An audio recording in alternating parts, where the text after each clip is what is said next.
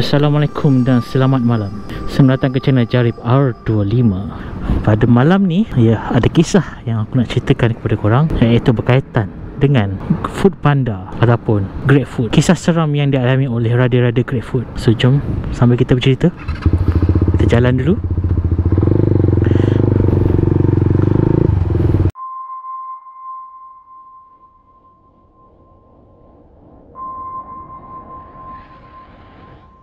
kita biasa dengar kisah ataupun kerja-kerja orang yang apa?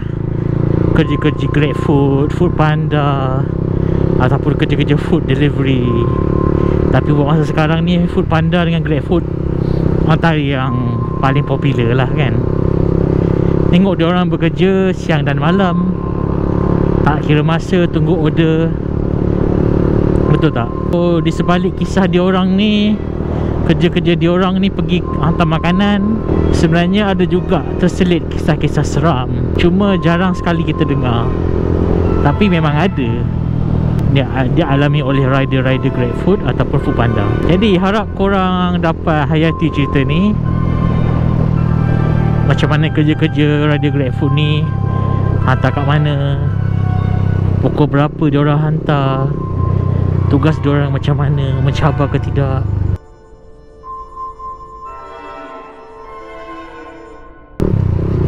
Jadi kisah pertama uh, Terjadi kepada seorang Rider Food Panda eh?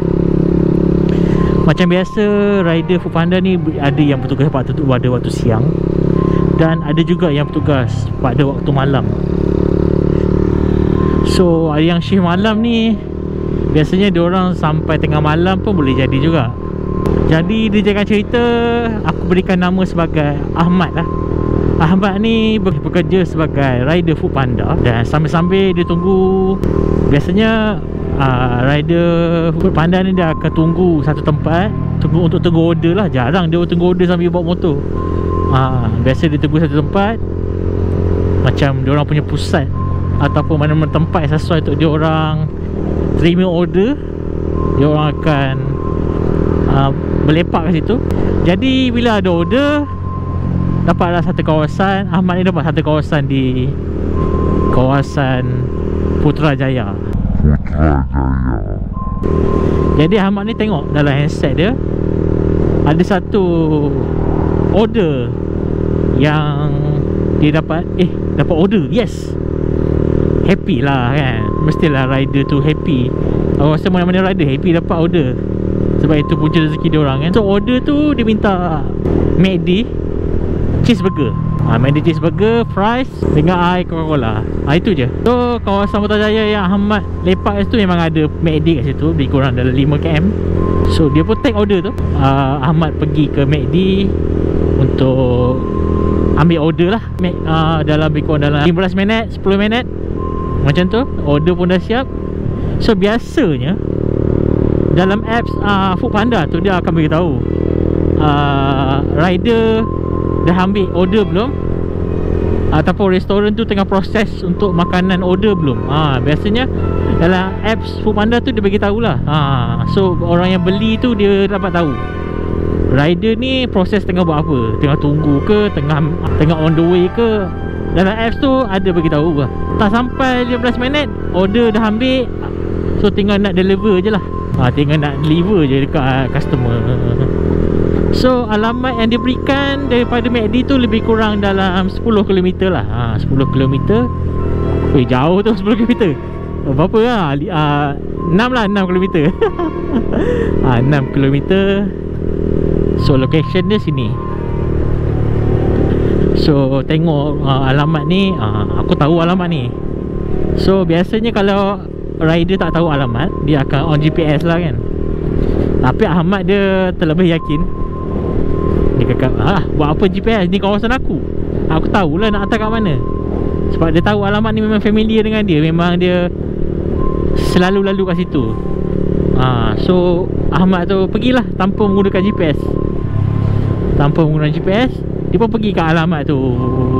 Satu rumah Yang dia kena hantar uh, order. So biasanya Sebelum rider Ataupun pertengahan jalan Biasanya rider akan call. Akan call customer Dia akan cakap Saya akan datang sekejap lagi. Biasanya lah.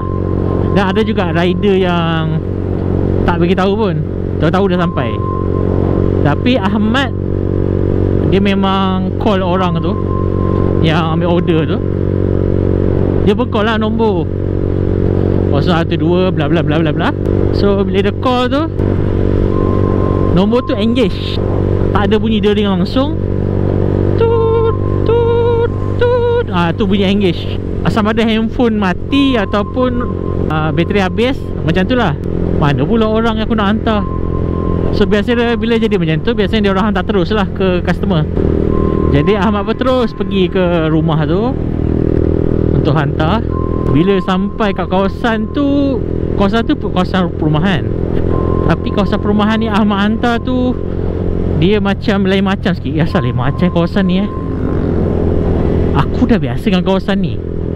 Tapi entah macam mana malam tu uh, Ahmad rasa Rasa pelik lah. Sebab kawasan tu agak-agak sunyi. Kau bayang, korang bayangkan lah Perumahan tu agak sunyi. Tak banyak rumah kat situ. Rumah semua satu-satu lah Dia macam bukan rumah teres Dia macam rumah besar. Tapi kiri kanan dia ada tanah lapang. Itu selang seli dengan pokok-pokok dan sedikit hutan. Ahmad pun sampailah ke rumah tersebut. Rumah tu agak gelap. Dia ada lampu sama-sama Tapi agak gelap. So kalau rumah dia ada pagar. Eh Tapi bila Ahmad tengok rumah ni eh, Asal rumah ni macam Orang kata macam usang lah kan. Rumah besar Rumah batu lah. Tapi macam usang Macam dah lama ditinggalkan orang Tapi ada orang duduk. So Ahmad Dalam hati Ahmad ni rasa pelik lah. Rumah buruk Tapi ada orang duduk. Lepas tu order food panda. Ini mesti orang bujang Duduk ramai-ramai lah ni. Ahmad cakap yang tu. Dekat pagar Ahmad pun bagi salam lah. Assalamualaikum. Food Panda ada orang jawab lagi. Kali kedua bagi salam. Assalamualaikum. Food Panda MACD Ada orang jawab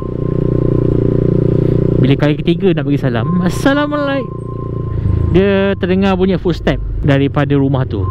Okey Pagar dengan rumah tu Pagar dengan rumah tu dia Tak jauh mana pun. So boleh dengar bunyi footstep lah sebab rumah dia Walaupun rumah dia besar Tapi kawasan uh, Parking tu tak besar pun.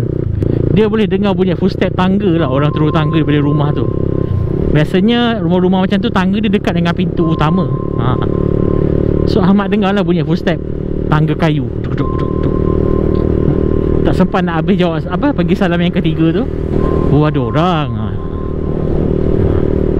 So, Ahmad pun tunggu lah Tunggu dia buka pintu Ahmad tunggu buka pintu Bunyi tangga dah. Ada ada bunyi kaki kat tangga tu. Kasi minit tunggu. Pintu tak buka. Pintu tak buka. Pelik kan? Dengar suara orang turun tangga. Patutnya dah buka pintu dah masa tu. Tapi dekat seminit Pintu tak buka. Ahmad cakap eh Pahal tak buka pintu ni. Yang nak hantar makanan. Assalamualaikum Hantar makanan ni. Memang tak ada orang buka pintu. Lepas tu Ahmad macam apa hal lah ni? Tapi dia perasan lah pintu pagar yang rumah tu, tu tak tu, tak kunci pun. Dia selak gitu je so Ahmad pun buka pagar tu. Masuk dalam rumah tu. So dia, dia betul-betul dekat depan pintu rumah. So Ahmad tu pun terus ketuk pintu rumah tu. Tok tok tok tok. Assalamualaikum food panda. Maybe orang ni dia dalam rumah ni dia fikir meh dia ingat bukan food panda kot. Tu yang dia tak buka pintu tu. Dia cuba lagi ketuk pintu Assalamualaikum Delivery Food Panda. Uh, Ada order McD kan? Mac, uh, Burger cheese Dengan uh, Air Coca-Cola dengan fries. Ni saya nak hantar makanan ni. Senyap untuk berapa detik Ahmad dah rasa pelik. Dan sebelah pintu tu ada tingkap oh, Ada tingkap tu. Tingkap tu dia Tingkap yang ada bergerigi So tingkap tu dia terbuka sikit je. So Ahmad tu tengoklah tingkap tu. Dan dia kata Allahu Akbar Astagfirullahaladzim Ah, dia Ahmad terkejut lah Terkejut sebab apa? Sebab dekat tingkap tu Dia terbuka Bila Ahmad tengok betul-betul tingkap tu Ada mata.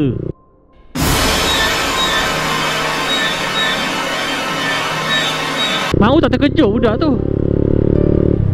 Yang mata kejut lah aku pun terkejut kalau gitu.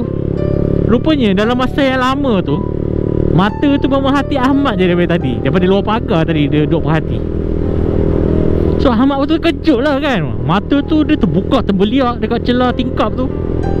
Dengan langsir dia terbuka sikit.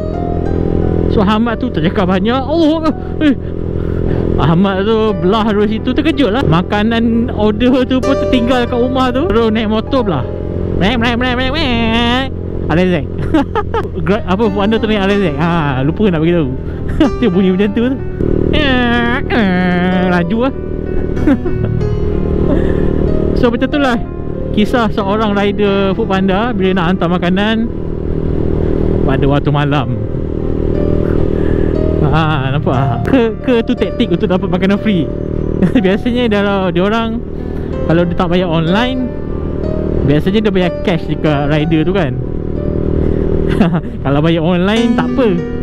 Ha, Food Panda boleh untung lagi kalau bayar cash makanan tinggal gitu ah untung rugi kat situ.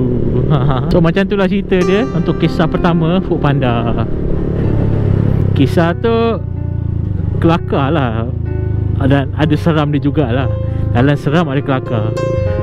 Kelakar kak kadang-kadang bila cerita balik tu kelakar. Terkejut. Tinggal makanan kat rumah. Rugi gitu. McD bawa mahal